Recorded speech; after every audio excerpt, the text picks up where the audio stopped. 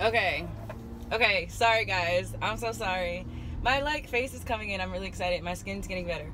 But um I keep getting requested to daily vlog and I did that a couple months ago. I think maybe like 2 or 3 months ago I was a daily vlogger for about like I think 3 weeks. It's a job to be a daily vlogger, but like this past like 6 weeks of my life I look back on and I wish I would have daily vlogs because there's been so much that's been happening that I like missed or I didn't miss, you guys missed because I wasn't daily vlogging. And so I'm just going to daily vlog and post and some days will be regular old days where I like go to the grocery store and pick up apples and oranges and then some days will be eventful, but the moral of the story of the of the daily vlog request and why I'm going to take on this challenge for the remainder of 2019 or 2018 i'm sorry. I'm in 2019 because i'm i'm excited for life but it is 2018 um, i'm gonna take on this challenge of daily vlogging because life is unexpected. Life is is unexpected. You never know what's gonna happen.